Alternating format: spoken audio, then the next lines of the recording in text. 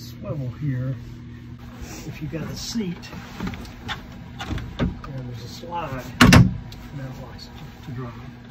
However, if you've got the slide right back like this, and you try to operate the swivel, um, it will go. Just hit. Right.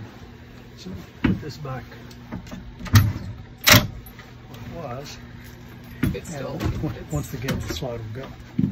So, so you'd have to move all the way to the front and then you can swivel it back and forth.